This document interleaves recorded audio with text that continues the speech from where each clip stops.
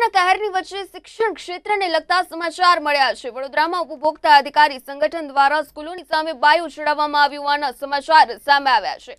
વર્તમાન પરિસ્થિતિને જોતા હાલમાં સ્કૂલના સંચાલકો દ્વારા જે રીતે પઠાણી ઉઘરાણી કરાઈ રહી છે તેની સામે ઉપભોક્તા સંગઠન દ્વારા વિરોધ કરવામાં આવી રહ્યો છે. આવા કપરા સમયમાં પણ જો સ્કૂલના સંચાલકો વાલીઓ સાથે નહીં રહે, તો વાલીઓની હાલત કફોડી બની જશે. એમ ઉપભોક્તા સંગઠનના પ્રદેશ પ્રવક્તાનું કહેવું છે. તો તેમણે બનિયાન તથા શર્ટ ઉતારીને જિલ્લા શિક્ષણ અધિકારીને સ્કૂલના સંચાલકો સામે પગલાં ભરવા આવેદનપત્ર પણ આપ્યું હતું. ગુજરાતની જે પરિસ્થિતિ આપણે જોઈએ કે જે રીતનો કપરો સમય વાલીઓએ કાઢ્યો છે, તેવા કપરા સમયમાં વાલી પાસે અત્યારે વાપરવાના પૈસા નથી.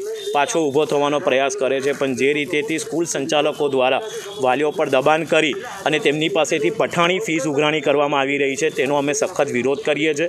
વાલીઓને દબાણ કરવામાં આવે છે કે સ્કૂલની અંદરથી જ બેગ લે, ચોપડા લે જ્યારે કે સ્કૂલો બંધ છે અત્યારે અને ઓનલાઈન શિક્ષણ ચાલી રહ્યું છે, આવા સમયમાં સ્કૂલ સંચાલકોએ એક સારો ઉદાહરણ આપી અને વાલીઓની સાથે રહેવું જોઈએ, તેમની પર દબાણ કરવાની જગ્યાએ બાળકના ભવિષ્ય તરફ જોઈ અને એમને આગળ વધવું જોઈએ.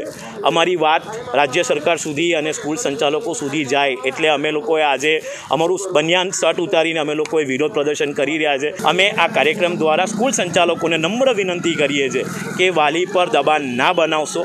આજે અમે શર્ટ ઉતાર્યા છે અને આવનારા સમયમાં અમે આનાથી પણ વધુ આશ્ચર્યજનક કાર્યક્રમ કરશું અને દરેક વાલીની સાથે ઉપભોક્તા અધિકાર સંગઠન છે.